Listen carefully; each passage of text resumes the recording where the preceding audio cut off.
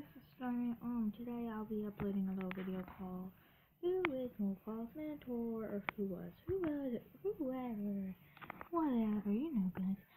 P.S. Before I start, this is my new channel. I will probably not be uploading as much as the other one because that was my mom's phone and blah blah blah. Yeah, so I'm having a lot of channels right now.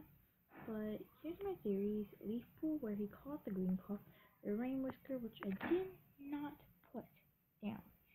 So I'm gonna my plot is they died on the same day. And so yeah, they died on the same day and so they didn't have to die without each other. So put in the comments section below which do you think who what mentor do you think Molepaw would have had?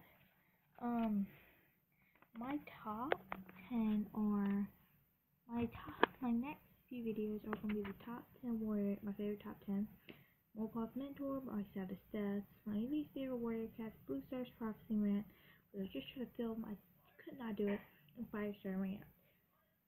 I'm not too sure what I'm going to be doing, but yeah, this is just the one we're focusing on right now. Who was Molepaw's Mentor? I actually think it was either Leaf Boy that one. I'm not good at ranting things.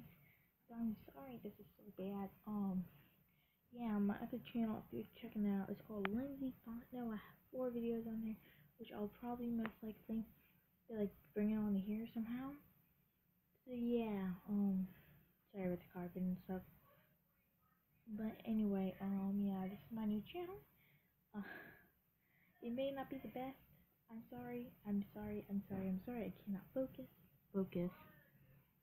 Um, yeah. So yeah, you guys later, and keep calm and keep me on. Goodbye, guys.